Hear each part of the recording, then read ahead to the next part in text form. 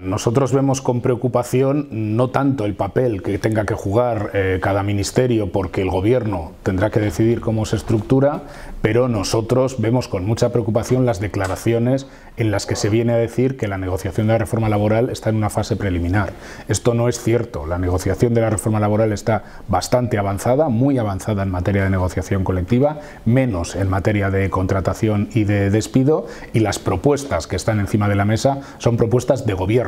y nosotros las interpretamos como propuestas de gobierno. Y no vamos a aceptar que el gobierno ahora venga con un paquete de propuestas distintas, porque lo que está en la mesa es lo que hemos negociado y además es perfectamente compatible con el acuerdo de gobierno que nosotros hemos conocido. Con lo cual, bueno, el gobierno es el que decide, insisto, y el presidente del gobierno cómo se organiza. Nosotros ahí, lógicamente, pues no tenemos gran cosa que decir, pero sí pedimos respeto para un marco, el del diálogo social, que ha dado frutos en esta pandemia, que ha sido clave para salvar 3 millones de puestos de trabajo y que no puede permitir que ahora se cuestione lo que se viene haciendo en los últimos meses. Pero insisto, a mí, en la medida en que lo que el presidente del gobierno diga que el área socioeconómica del gobierno se va a organizar así o asado no es mi competencia, pero en la medida en que suponga un aval a unas declaraciones que dicen que lo que hemos hecho en materia de legislación y reforma laboral no existe y no se ha hecho, esto es una falta de respeto al diálogo social y nosotros ahí sí vamos a enseñar las uñas. Es difícil porque las medidas son muy importantes y porque la seguridad social y las pensiones